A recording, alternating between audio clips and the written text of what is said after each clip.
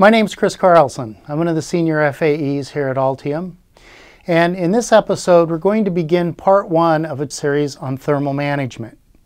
This time, we will look at thermal conductivity through materials, and we will develop a thermal resistance concept. Then in part two, we will use that thermal resistance concept to properly size a heat sink for a component, as well as look at thermal transfer through printed circuit boards. What I have drawn here to my left is a model of um, a, convection, a convective heat transfer area. I have a solid material where we have a conduction model and another convective area. Q is the heat transfer rate through the entire system. T1 and T2 is the temperature differential across the system. And H1 is my um, my heat transfer coefficient for region 1. H2 is the heat transfer coefficient for region 2. K is my thermal conductivity of my solid material. A is the air surface area of my solid material. And S is the distance that the heat will transfer through the solid material. And we're going to look at the thermal um, stack up of the entire system. Now, we're all familiar with Ohm's law. I equals V over R.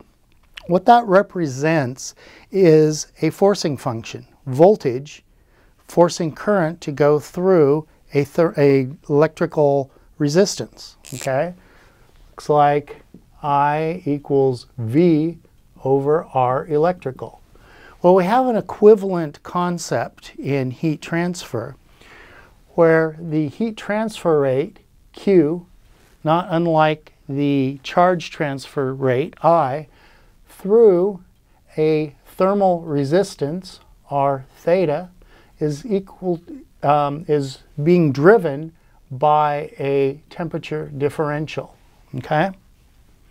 So let's look at the thermal resistance of our first convective area. So we'll start out with first principles. R theta is equal to delta T over Q, which is equal to delta T, our forcing function, over our heat transfer coefficient, H1. Uh, in this case, we'll keep it more general um, for starters. H times the area over delta T, which then is simply is simplified down to 1 over HA. Okay? And this is for our convective model. Then for our conduction model,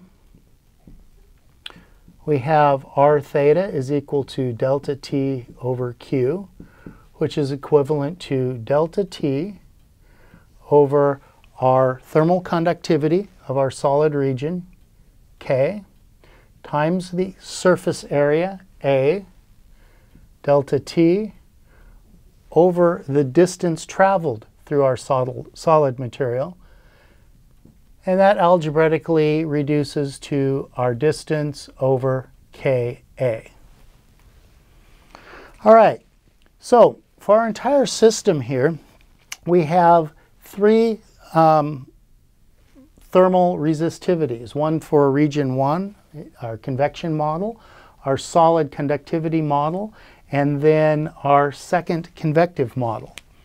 So in this case, r theta total is equal to 1 over h1a plus our distance through our solid material over Ka plus 1 over h2a.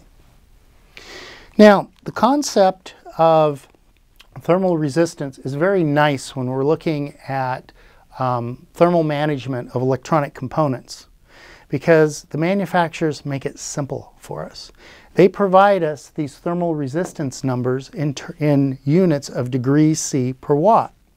So for our system here, our heat transfer is the equivalent of our charge transfer, so we can represent that by a current source of value Q.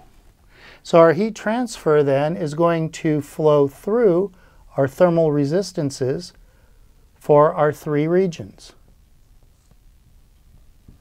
So we've got R theta, I'll call this region 1, 2, and 3, R theta 2, R theta 3.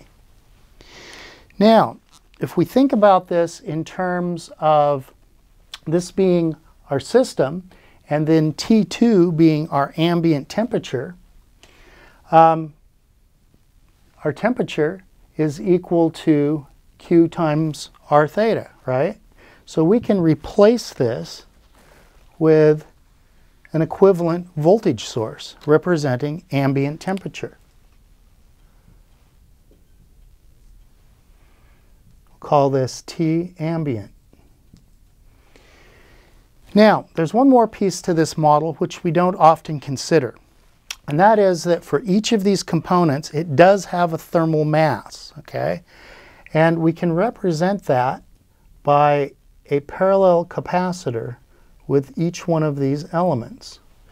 Now, we generally do not consider this when we're looking at the um, thermal management of components on a printed circuit board. However, if you're ever working with high pulsed power, high energy systems, you do have to consider this because the temperature um, through this R theta is going to go up with an e to the minus t over tau characteristic. However, for our purposes, we're going to ignore this for now.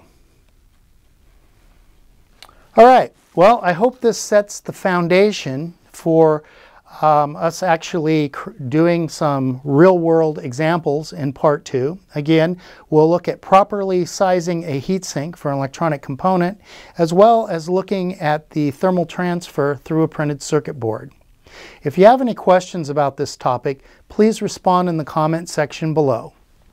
I'm Chris Carlson. Thanks for your time.